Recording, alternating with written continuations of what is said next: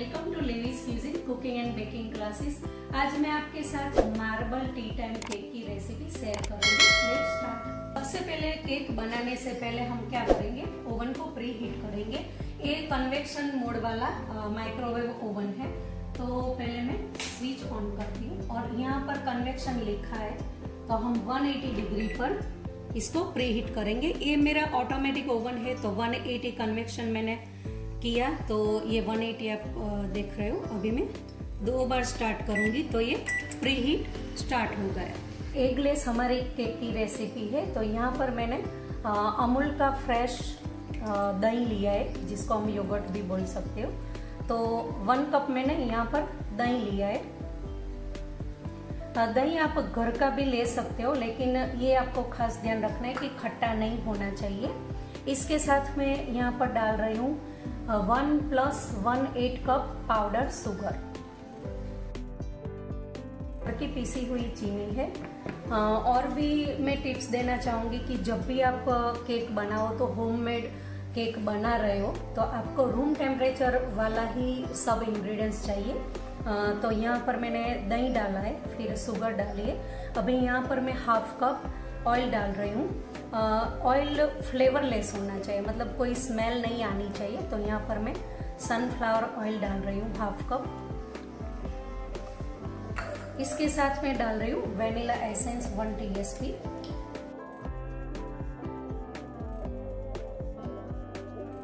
half cup milk लिया है तो मैं यहाँ पर डालूँगी, थोड़ा सा मिल्क डालूँगी हाफ़ जितना मैं बचा कर रखती हूँ यहाँ पर।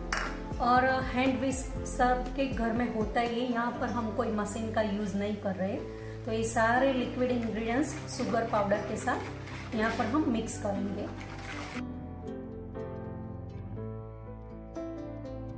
अच्छी तरह से इक्वल हो जाना चाहिए मिक्स हो जाना चाहिए। तो यहाँ पर मैंने सारे इंग्रेडिएंट्स लिक्विड इंग्रेडिएंट्स मिक्स कर दिया है। ये मैं साइड में अभी रख रही हूँ। और दूसरा बाउल लेना है। यहाँ पर हम एक छन्नी लगाएँगे। जब भी आप एगलेस केक बना रहे हो तो आपको छान कर ही ड्राई इंग्रेडिएंट्स को लेना है। तो यहाँ पर मैंने दो कप मैदा लिया है।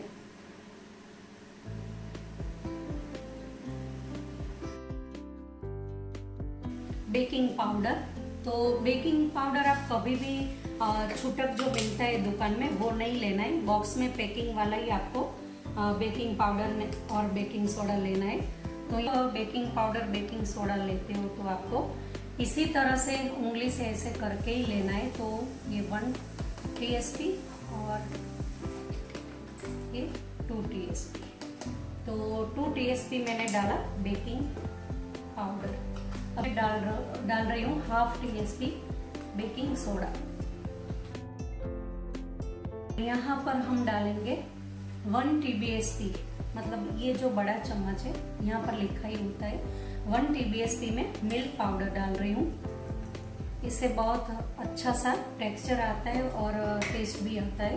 वन फोर टी सॉल्ट डाल रही हूँ। अरे जो ड्राई इंग्रेडिएंट्स है, वो मैं छान लेती हूँ।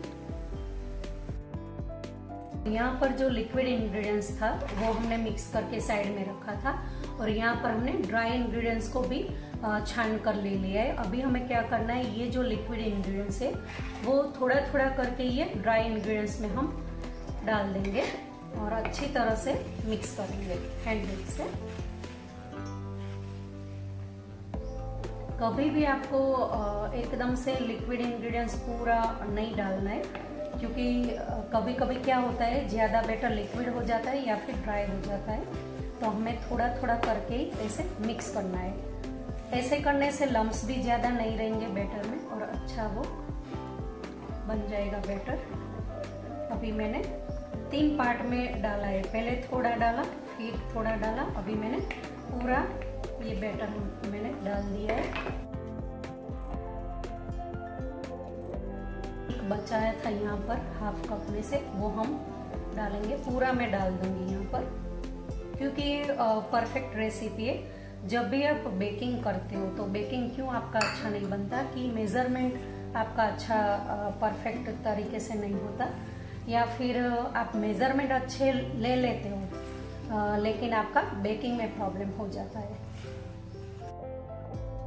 ये हमारा देखो बैटर मैंने बना दिया है।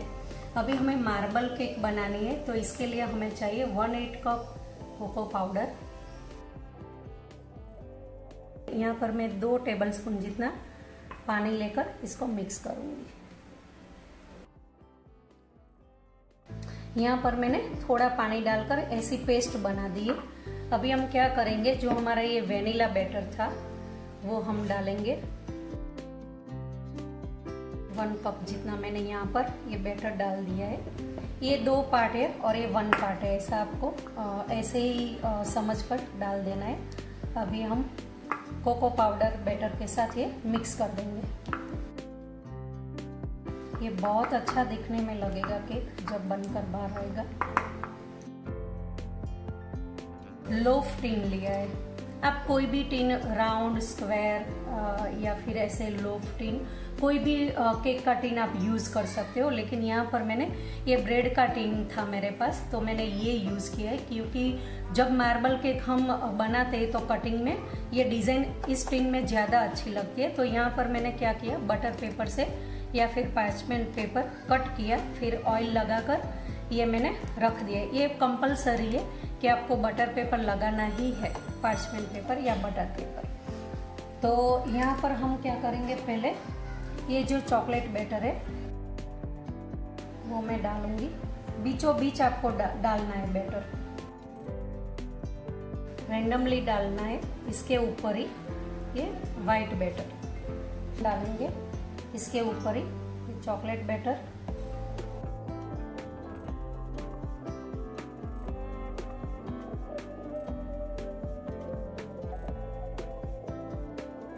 तो यहाँ पर मैंने चॉकलेट और वेनिला का बैटर एक के ऊपर एक ऐसे डाल दिया है। अभी हम क्या करेंगे? ऐसे टैप टैप करेंगे। तो तीन से चार बार मैंने टैप टैप कर दिया है। अभी ये क्या होगा कि स्प्रेड अच्छी तरह से हो गया है। ये मेरा जो टीन की साइज़ है, नाइन इंच है ये सी लंबाई। और ये हाइट साढ़े तीन इंच है। तो आप कोई भी टीन ले सकते हो, ये अराउंड 700 ग्राम जितना केक बनकर रेडी हो जाएगा। अभी आपको एक खास मैं टिप्स देना चाहूँगी। जब भी आप केक बनाते हो तो हाफ़ ही टीन बैटर में डालना है, क्योंकि ये फूलकर यहाँ तक आ जाएगी केक कोई भी टीन हो राउंड या स्क्वायर हाफ़ आपको बैटर भरना है और बाद में बेक करने के लिए रखना है। अभी हमारा ओवन प्री हीट हो गया है तो अभी मैं इसको अंदर रखती हूँ। तो ये 180 डिग्री पर प्रीट ओवन हो है अभी मैं स्टैंड के ऊपर ये रख रही हूँ। और इसको मैं 40 से 45 मिनट के लिए बेक करने के लिए रखती हूँ। अभी मैंने 45 मिनट रखकर स्टार्ट का बटन प्रेस कर दिया है। अभी 45 मिनट के बाद हम देखेंगे कि हमारी लोफ केक कैसी बनी है। हमारी केक बेक होकर रेडी हो गई अभी मैं इसको अनमोल्ड करती हूँ।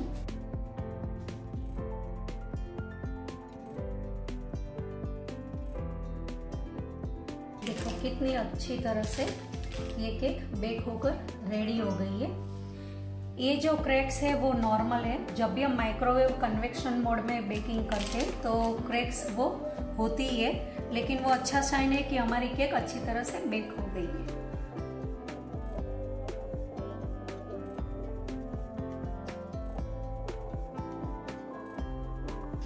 अभी ये मैंने आ, कट करके स्लाइस कर दिए देखो कितनी अच्छी डिज़ाइन आ गई है मार्बल। और ये इतनी सॉफ्ट है बहुत ही सॉफ्ट है बहुत ही बहुत ही सॉफ्ट है। और आ, स्मेल भी बहुत अच्छी आ रही है।